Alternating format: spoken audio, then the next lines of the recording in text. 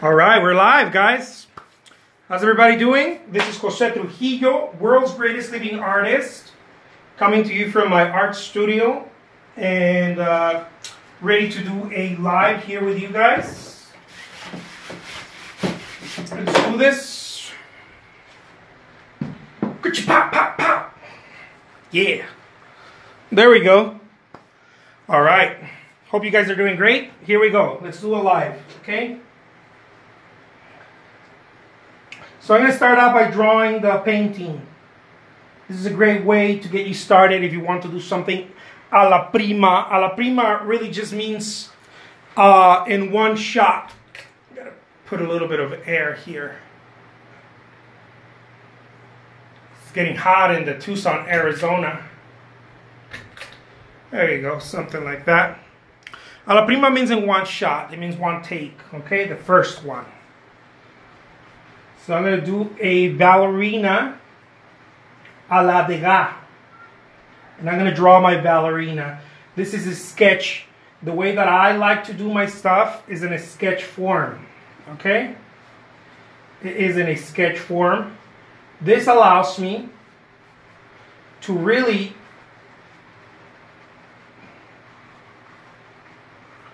to really concentrate on the movement of the piece as opposed to all the bullshit details that I don't mind.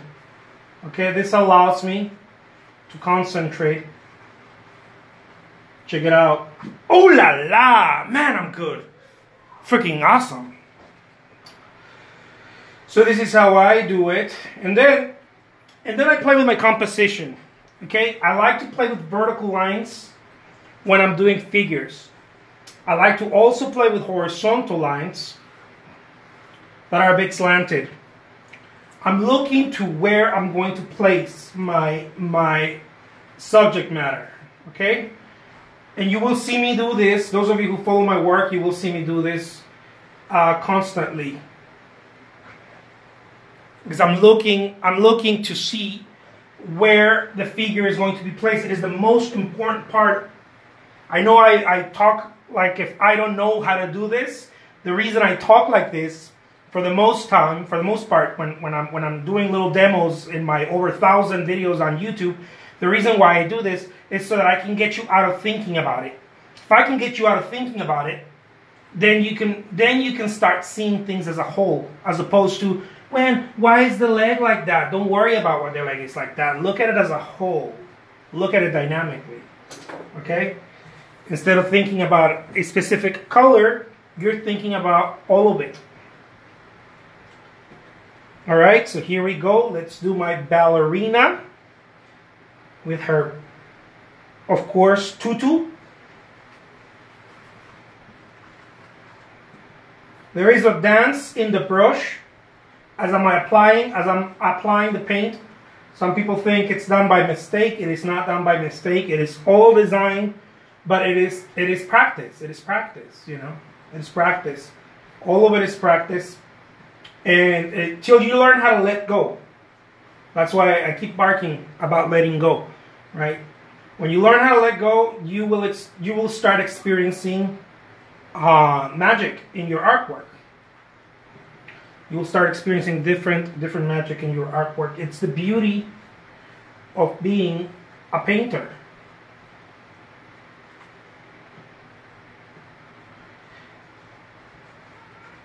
Is the beauty of being a painter.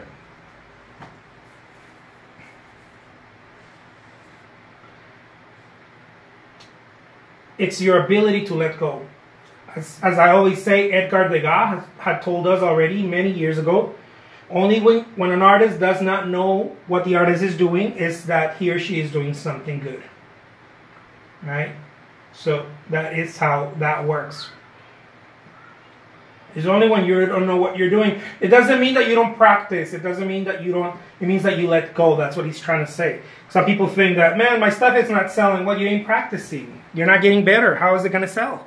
You got to practice, right? Alisa says, I've been trying to. Uh, what's my YouTube channel? My YouTube channel, Sassy, is just my name, Jose Trujillo, and if you put if you put artist or painting or demo, I'll come up there. It's Jose Trujillo Art. Alisa Penner says underscore artist. Sorry about that. Says I have been trying to. I have been trying out letting go. It feels good. Yeah, feels really good. It's it's uh, it's it's uh, it's a different thing happening. You know, you're offering something else to the creative space. You're not so stuck on on on on pleasing, right? The pleasing is it stops. The pleasing stops. What I mean by pleasing is that you're trying to please your mind. Most artists do this. Whether you know it or not, you're trying to do this many times. And, and what happens when you do that is that you stop listening to the creative. You stop touching the, I'm going to go esoteric on you guys right now. You stop touching the eternal. Okay? Ooh la la. Stop touching the eternal. If you stop touching the eternal, you have no access to power. It's like you're unplugging yourself. You need to plug yourself in.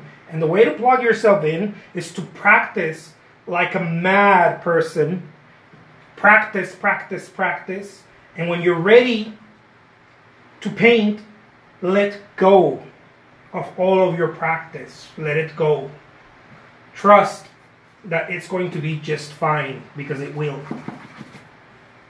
Trust that you are good enough where you're standing. If you don't practice knowing that you're good enough where you're standing, you will never feel good enough. No matter how great you paint, you're always going to feel bad.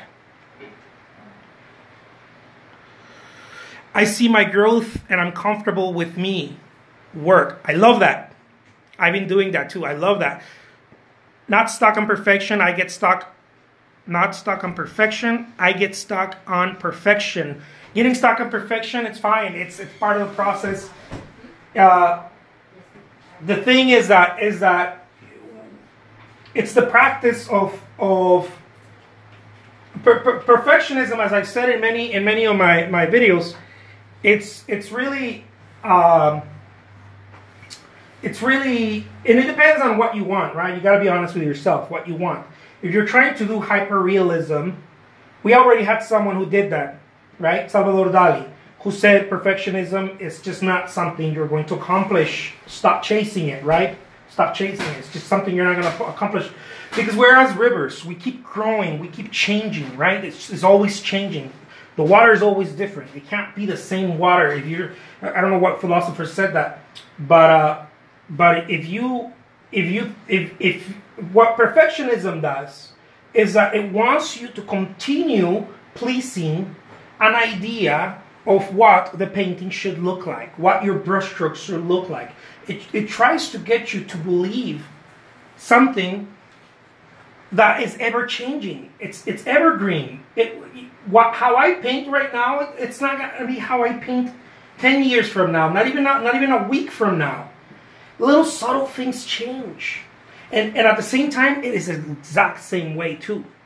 But but little subtle things change. Little things keep changing. You know, it's not it's not the same thing. It's going to continue to change. And if it doesn't change, you're not growing. It has to change, right? It has to change. Yeah, let's do a little shadow, maybe.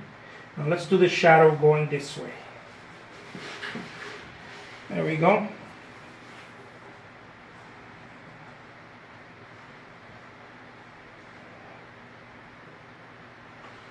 If you're not changing, you're not growing. You have to change.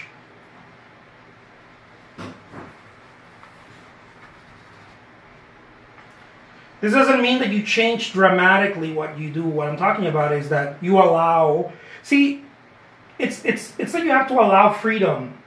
And, and, and when you're stuck in perfectionism, you're not allowing freedom. Perfectionism looks like different things for different artists. For some artists, it may look like it needs to look extremely representational, or else I'm not going to be happy. That's one form, right? How much reality does my painting have? For other artists, perfectionism could be like it has to look like a Jackson Pollock. The brushstroke, the drip has to be just right. If it's not, I will suffer. I get so tense. Uh, Babaline333 says, I get so tense trying to be perfect. My colors have to be exactly perfect. Even when I'm trying to do an abstract, I totally get that. You are not alone, my friend. I get it. This is the curse of the human being. No one's alone in this game. This, this, is, this is the idea that there is something outside, there is something in your mind, right? There's something in your mind and how do you close the bridge between your mind and the canvas? There's an idea that you will that is insatiable. It is a monster. It's insatiable. You will never feed it. It's a black hole. No matter how much you want it to go from here to the canvas, it will never represent exactly alike because there are two different things happening. The canvas has a life of its own, and if you don't allow, by using your skills, right, using your skill sets, if you don't allow the canvas to have a life of its own, it creates psychological pain, right? It creates tenseness. It creates, I don't know if that's a word, tenseness, but you create, you create psychological pain. You, you suffer. There is an idea that I have to meet, and if I don't meet it, right, then there's pain associated with this, and and and it's and it's so easy to get carried away by it. It's so easy. So the moment that I see myself trying to perfect a brushstroke or trying to perfect a part of the painting, I move on. This is what I do. Okay? Instead of staying here or staying here where I want to perfect something, what I do is that I'll start moving to the next place. This gives it, you know how they say love is letting go? This gives it, this gives this breathing time. Now, some artists like to do this in months, right? They take months to do this. For example, what they'll do is that they'll paint something, they'll put it away, and then they'll come back to it. Cool, that's not me. It's, it's too time consuming. I ain't got that type of time. I make a living as an artist. I ain't got time to, to, to, to keep a painting there forever. I got to get it done. Right? It's got to go. Beautiful. This is helping me so much. I appreciate that. Thank you so much. I'm scared of change. Sassy says, I'm scared of change, but I'm trying to change that. I love that. I'm scared of change, but I'm trying to change that. It, it's, it's, it's so interesting, right? Change is uh, one of those things that, that in order for humans to grow, it needs to constantly be there. No human ever, no human ever grows without change. And almost no human ever becomes, really grows spiritually, almost never without pain right? There needs to be some pain to that. And I'm not talking about like some physical pain, but there needs to be pain of letting go.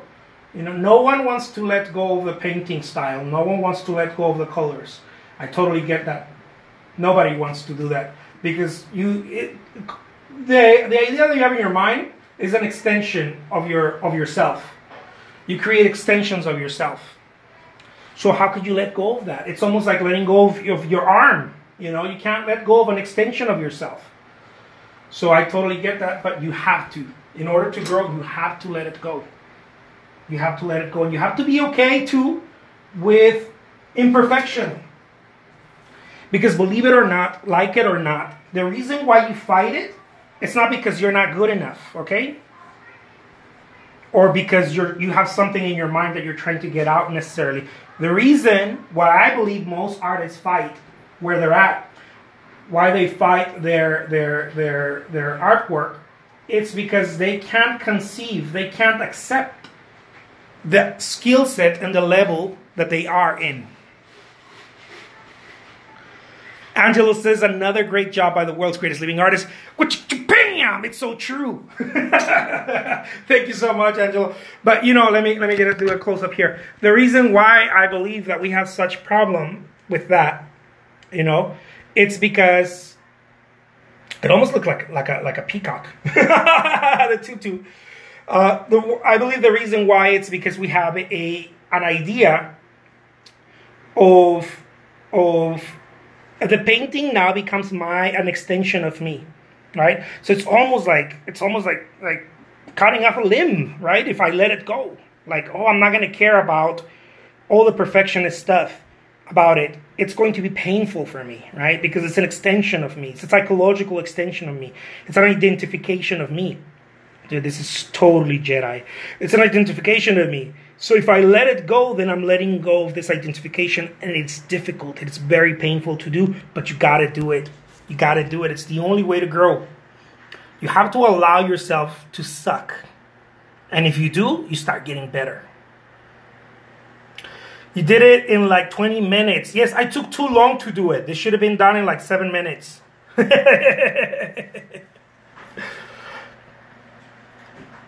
so there you guys have it.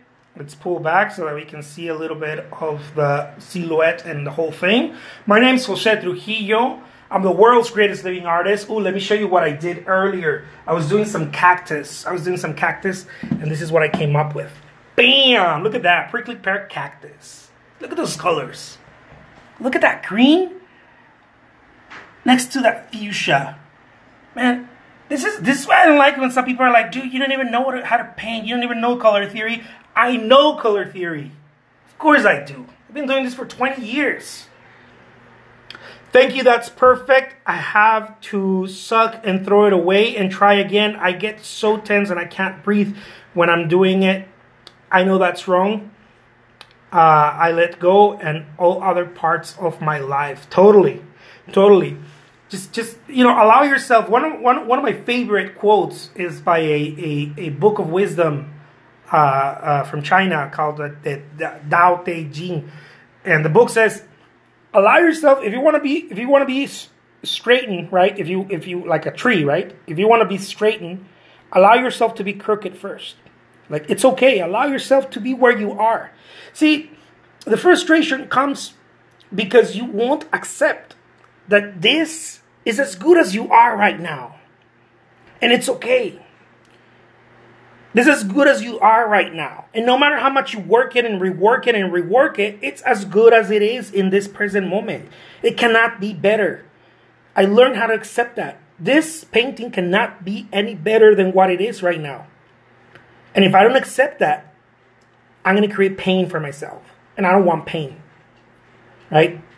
I want all kinds of fuzzy shit and happiness. So, especially when I'm painting. So I need to accept it.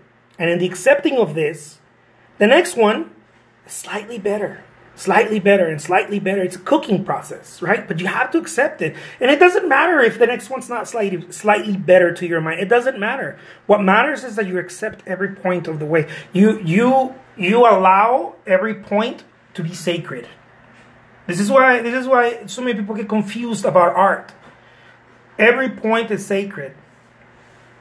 How do you get rid of self-doubt? You keep moving. You keep moving. The only way to get rid of self-doubt is to keep moving. Self-doubt happens because of excessive amount of thinking.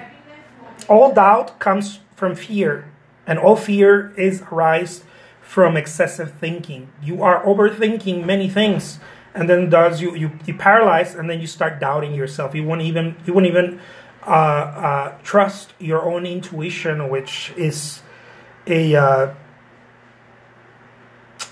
God-given treasure right? Your your intuition is the most valuable asset you have, probably next to time. right? Your existence and then your intuition is like it's it's your compass. So you you you, you can't get rid of it unless you stop thinking. And the way to stop thinking, I, I'm doing courses on this, guys. The way to stop thinking is that you have to start moving no matter what. You keep moving. See, if I sit here and I start looking at this painting, right? And I don't move to the next one or I don't move to the next task, I'll start hating it. There's something that I'm going to start hating about it. Every, anytime you look at something without acceptance, anything, this could be people, jobs, whatever. Anytime you look at something without acceptance, without being like, okay, I'll leave it alone, I'll accept it? Every time you look at something like that, you, you are creating judgments on it. You're creating judgments. And every time you're creating judgments on it, you're creating you're you're you're trying to figure out how this fits in your life, how it benefits you or how it harms you. Because you'll see all the imperfections exactly, but they're not really imperfections. It's not that it's not that they're imperfections. What happens is that anytime you start cranking your mind, you could be sitting down having a lobster, or if you're a vegetarian, you know, uh, you could be you could be sitting down having your best food. But if you start thinking about it, you start realizing things you don't like about it. I, I will have I will have a, a, a classes I'm putting together on on a Trujillo Art Academy where I'm going to be uh, teaching all kinds of courses, anywhere from painting, drawing, color mixing, to to getting your work out there into the marketplace, getting gallery exhibits, selling online, selling in your community, marketing yourself through and through. I'm going to be doing all kinds of courses. I'm putting it together, and it's going to be awesome. And I'm going to let you guys know as soon as it's ready. As soon as the first course is up, I'm going to let everyone know. Okay? Uh, we are, but we allow ourselves to see your painting and beauty, and we allow ourselves to see your painting as beautiful when we don't allow that for ourselves a lot of times. It's so true because the grass is always greener, right? This, this I believe it, it comes from from the idea that that every every person feels that we're not that they're not good enough. You know, I'll see my painting as beautiful, and then I'll see someone else. And I'll be like, "Oh my God, that painting's so great!" That you, you sort of dismiss yourself. You you you you you won't give yourself credit. Thank you so much for this. I really appreciate it. Thank you so much. I appreciate it too. I appreciate you guys coming by and and you know uh, just you know showing up through this little window in my studio. I appreciate it very, very, very much. I gotta show you guys this awesome abstract expressionist painting. It's so freaking cool. All right, guys, I'm gonna be posting this stuff on my eBay shop. Those of you who are like, dude, I love that. I want to have it. Well, you know where to find me. Uh, the link is in my profile. Yeah. How competitive is the art world? Extremely competitive for those competing. Do not compete, dominate. Okay? Find out what you're good at and be the best at that. Do not compete. I repeat, competition is not healthy. Competition is only healthy for the consumer, it is not healthy for the artist. Okay? The consumer is going to find uh, what works for them best price, size, name recognition, and on and on and on. If you're an artist, you should not be competing. You will feel the pain of that too. You should be dominating. You should be the best at what you do. All right? This is why I'm the world's greatest living artist. Bam! Oh, by the way, I'm doing some shirts of the world's greatest living artists. I'm going to share them with you guys. So if you want to be a world's greatest living artist too, so you got to wear that shirt. You got to own it. All right, guys? Take care. Talk to you soon. Adios.